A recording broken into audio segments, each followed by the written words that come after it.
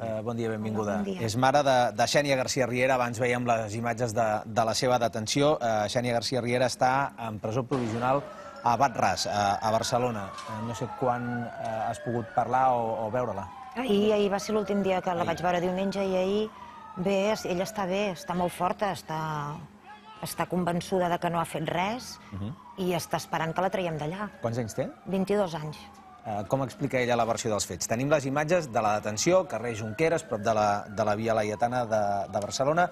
Divendres, eh, la jornada de, de l'arribada de les columnes de les anomenades Marxes de la Llibertat a Barcelona, que després eh, van acabar degenerant la situació del centre de Barcelona en, en eh, incidents amb, amb violència. Què estava fent ella allà? No sé si havia participat Ella- de les marxes o no. Ella va baixar amb mi a Barcelona, la vaig deixar a un quart de sis de la tarda al metro. Jo vaig baixar a Urquinaona i ell em va dir que mm, anava a un parell d'estacions més perquè havia quedat amb uns amics, amb una amiga, concretament. Que anar a alguna manifestació? Sí, anaven a fer un vol, a manifestar-se pacíficament com la majoria de jovent de, de la seva edat.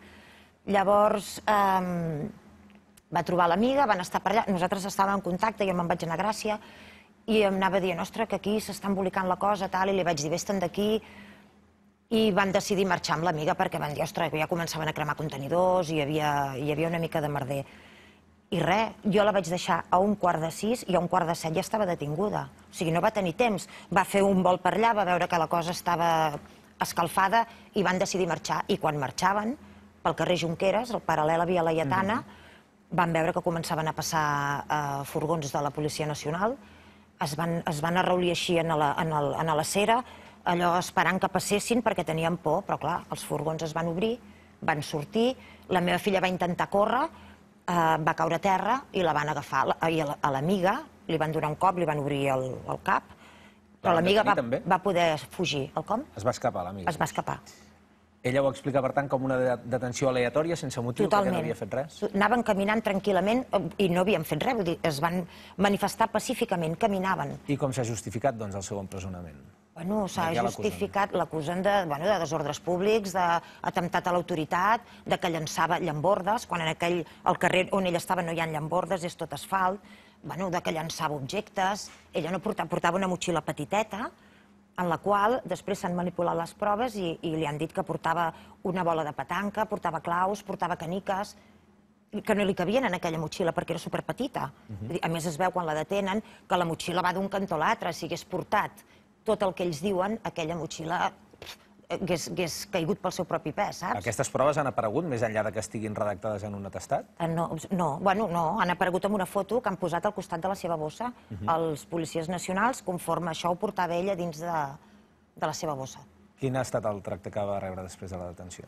La Xènia, quan la van detenir, es veu a les imatges, la- l'arrosseguen per terra, abans d'entrar al furgó la tonyinen ben atonyinada, la fiquen al furgó policial i a dins la continuen atonyinant i ella sent com diuen mata-la, mata-la. O sigui, eh, l'estat d'ella és de- de- d'estar de, així mentre rep els cops i la sort que va tenir és que, és que el carrer era al costat on la portaven, la va portar a Via Laietana, a la prefectura, i, i va ser un, un recorregut curt, perquè si no li haguessin fet molt mal si haguessin continuat així.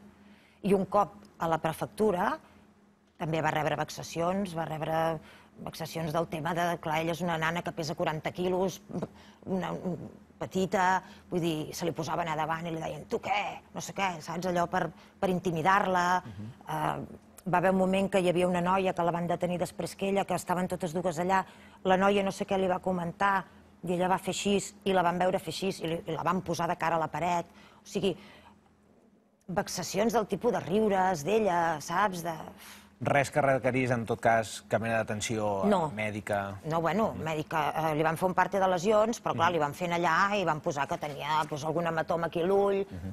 però el fet és que, que, que tenia un cop al cap, que, que està magullada per tot arreu. Uh, Carles, eh, sobre, sobre aquest cas en què uh, es denuncia una detenció feta aleatòriament i amb proves manipulades, què hi poden fer Ah. la família?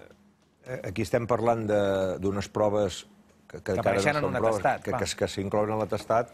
La versió de la, de la detinguda difereix amb el que diu la policia. Això haurà de, com passa tantes vegades eh, amb la majoria de detinguts, neguen els fets, la policia diu que ha vist això, el detingut pot dir que no, llavors qui ho decidirà eh, serà un jutge. En aquest moment hi ha un jutge que ha decidit que aquestes afirmacions de la policia poden ser considerats indicis perquè ha acordat la presó. Jo vull aprofitar per dir que la presó provisional eh, últimament estem veient que s'utilitza d'una manera desmesurada. La presó provisional jo penso que eh, en delictes com aquest que aquí estem valorant eh, és innecessària perquè si, jo no ho sé, suposo que el jutge deu haver dit que acorda la presó provisional per evitar reiteració delictiva, no? per evitar que segueixi... Bé, aquí hi ha una mesura molt menys eh, cruenta, que és la, la prohibició d'apropament a futurs actes de manifestació o futures eh, accions que poden esdevenir en violentes. Per tant, el jutge, jo penso que tenia una alternativa i no era necessari una noia jove, com, com explicava abans d'entrar, que, que és la Xènia, acordar la presó provisional. Ara, dit això, mm, jo, jo com a advocat tinc que dir tenim un sistema que en teoria haurà de depurar el que diu la policia que pensem que segons la llei d'enjudiment criminal el que diu la policia només té el valor de denúncia i llavors s'ha de provar i si realment és veritat de que s'han manipulat proves estarien davant d'una conducta delictiva d'una conducta que també hauria de ser castigada, no en la Xènia, sinó en els policies que s'inventen unes proves. Que...